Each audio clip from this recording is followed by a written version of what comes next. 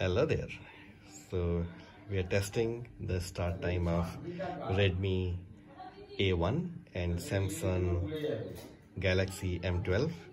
Uh, both are similarly priced, both are 4G. This one is recently purchased, a little bit new, but let's see. So I'm gonna start them at the same time and let's see which one starts faster. One, two, three.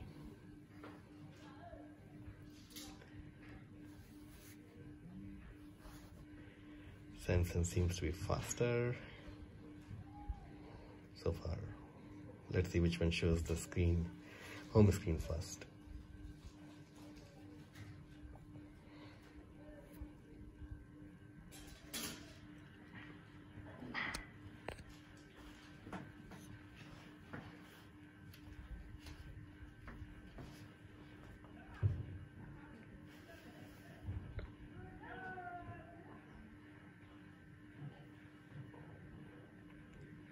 Okay, so Redmi started a little bit faster.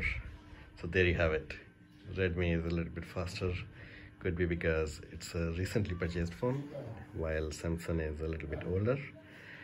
Uh, thank you for watching. Bye bye.